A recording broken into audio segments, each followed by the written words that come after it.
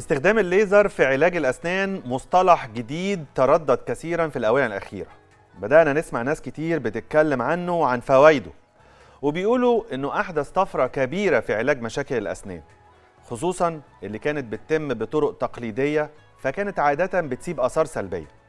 وبالمناسبة مش الناس بس اللي بيقولوا ده كمان الأطباء بيأكدوا إن الليزر أصبح أداة قوية وفعالة في معالجة أمراض الأسنان. والقضاء على الآثار السلبية بنسبة كبيرة جدا.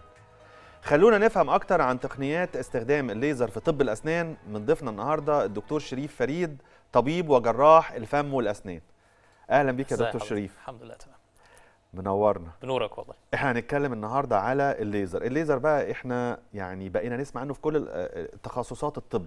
بالظبط. وكمان الأسنان. بالظبط. خلينا ندي فكرة الأول الليزر ده عبارة عن إيه؟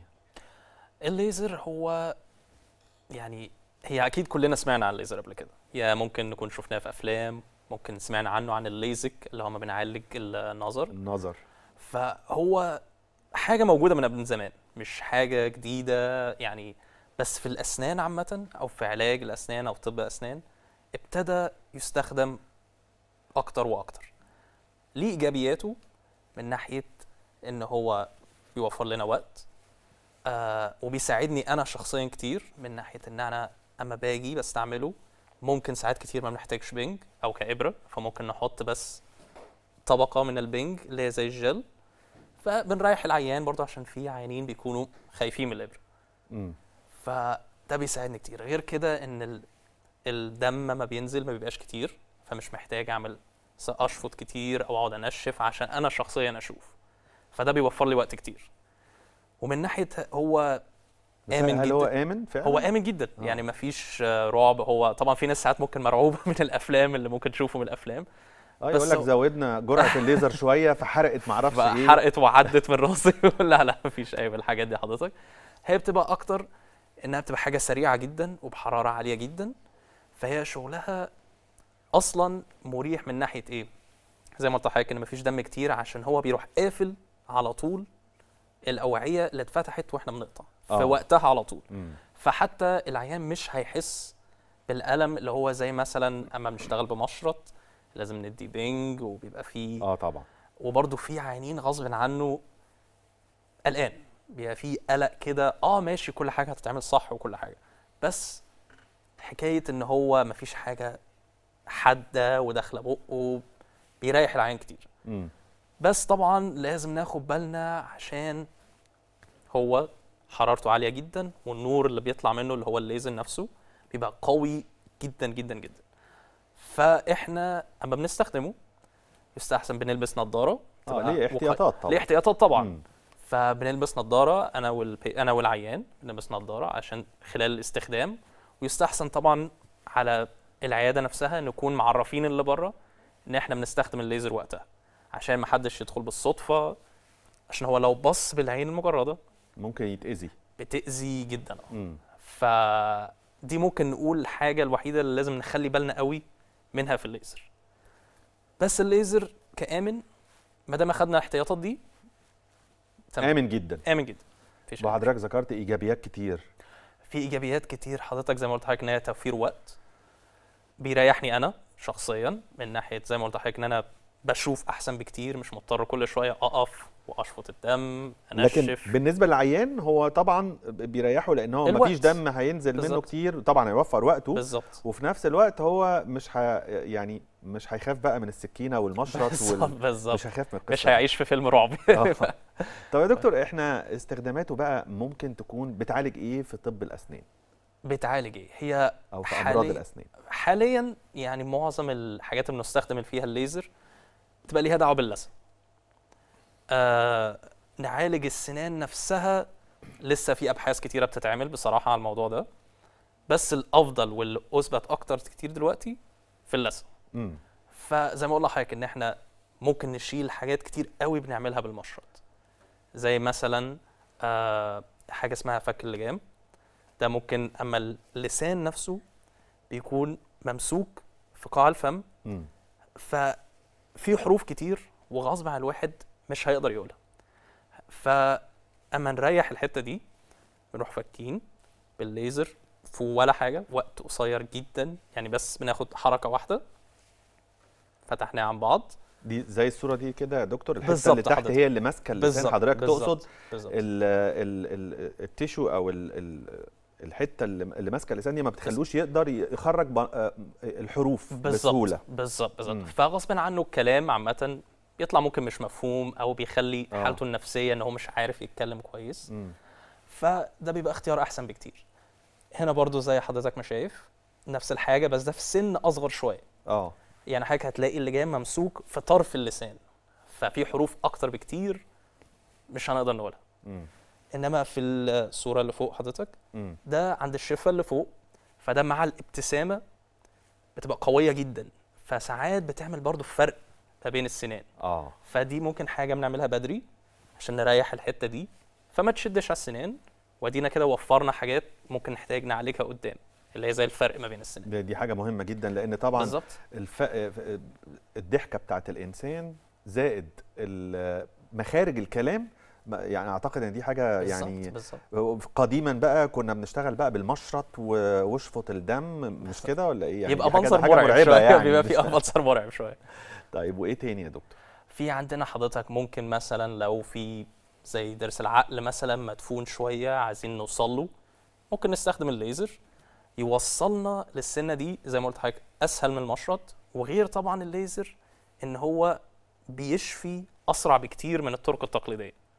يعني فاللثه نفسها هتشفي بسرعة فمش هنحتاج بقى نقعد دايما نقعد نخيط ونستنى. ونقعد نبص كل شوية. لا عشان إحنا قفلنا خلاص كل الاوعيه واللثه نفسها بتلم بطريقة سريعة.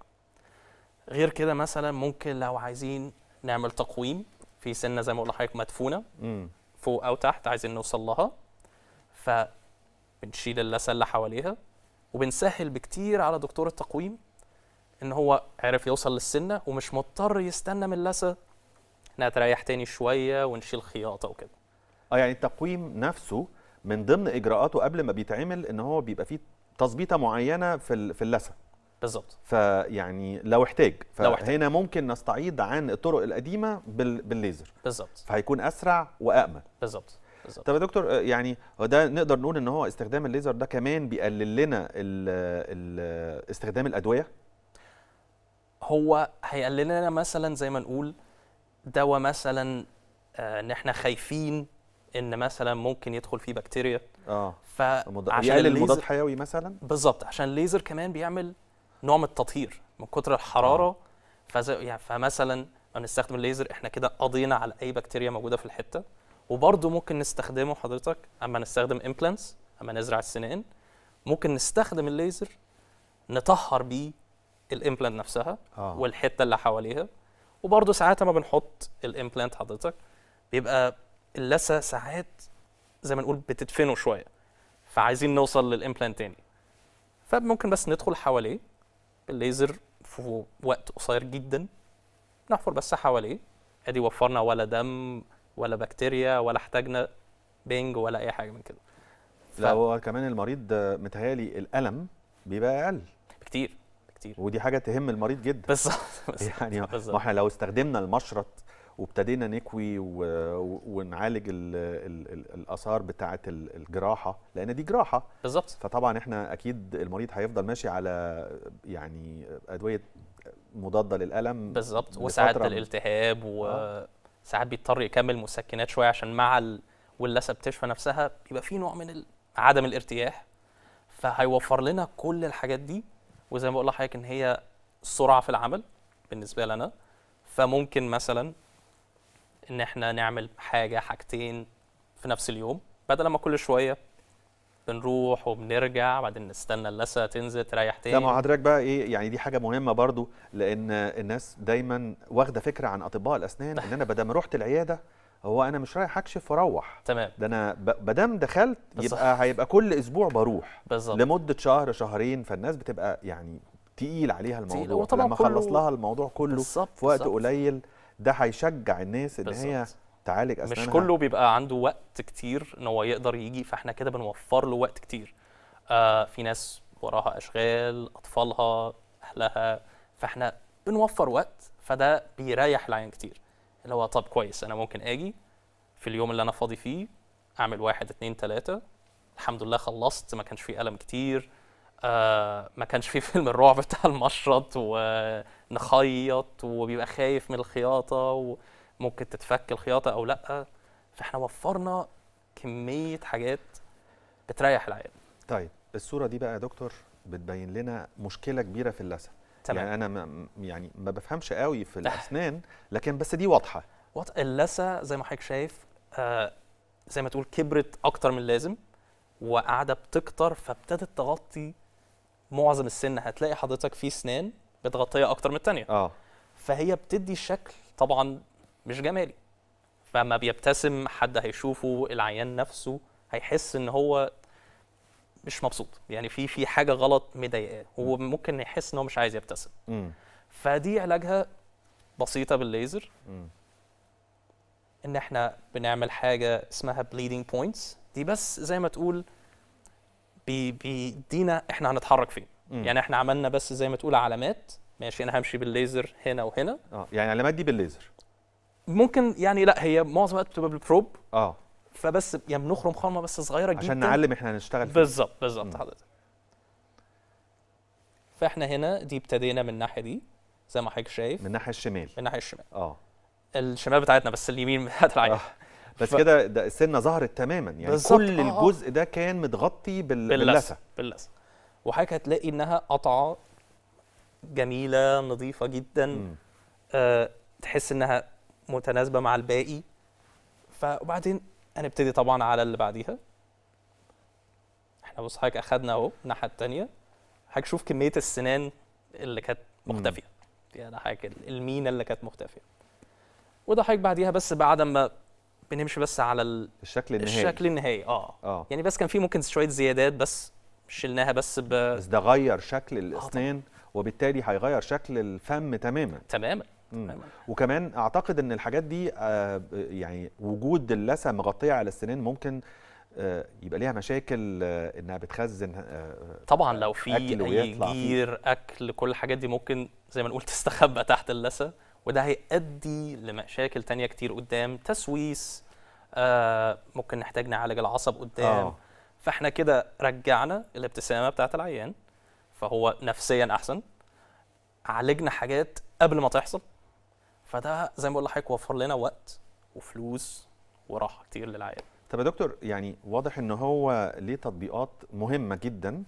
وبتبسط حياتنا يعني بتبسط م-م. على المريض حياته بالظبط هل ممكن يكون في سلبيات ليه أو يعني آه، حاجة تقلق ال- الدكتور أو المريض هو طبعا يعني السلبيات ممكن نقول إن هو بيحتاج شوية خبرة طبعا عشان هو لا دي مش سلبيات لا يعني لا, لا، لا، هتعرف تشتغل بيه بالظبط، هتشتغل بالظبط. بيه بالظبط بالظبط يعني أنا أقصد أقول يعني هي طبعا سلبيات لو هو آه، عايز يجرب الأدوات دي. وقعت في إيد واحد آه، مش خبير فطبعا هيسيء استخدامها بالظبط آه. بالظبط عشان هي طبعا استخدامها محتاجة تدريب مختلف وخبرة آه. مختلف عن المشرط يعني إحنا كلنا متعودين على المشرط فحضرتك في مخ الواحد متعود على طريقة معينة لا الليزر بيسهل الموضوع فأنت بيبقى لازم نوع من الدقة وشوية حنية برضه في. الشغل اللي هو عشان تجيب الشكل الجميل اللي هو سموث شكله كويس وطبعا زي ما قلت لحضرتك حكاية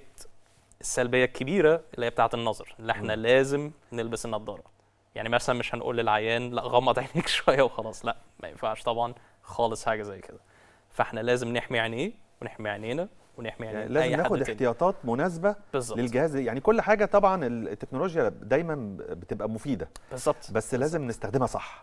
بالظبط. ما ما نلاقيش جهاز فنجري نستخدمه خلاص. حاجة لا لازم جديدة. آه لازم نقرأ. الحاجة كويس. التعليمات بتاعته. وطبعا أكيد ناخد تدريب عليه علشان نعرف نستخدمه الاستخدام الأمثل ونطلع الأمثل. بالنتيجه الأمثل. وهتلاقيه إن هو ريحك ريحك كتير. أكيد. ف- الدكتور آه، آه، شريف فريد طبيب وجراح الفم والأسنان. أنا بشكر حضرتك يا دكتور. يعني. دايما بتابعنا بأحدث التكنولوجيا الله يخليك. التطور التقني الكبير اللي بيحصل في طب الأسنان بصراحة حاجة تدعو للتأمل والفخر. أنا شخصيا مندهش بيها جدا. أطبائنا ما بيكتفوش بالمحدود والمتاح ودايما بيبحثوا عن كل ما هو عالمي وجديد في هذا التخصص. طب الأسنان بيمر حاليا بطفرة كبيرة تتطلب مننا توجيه الشكر للقائمين عليها.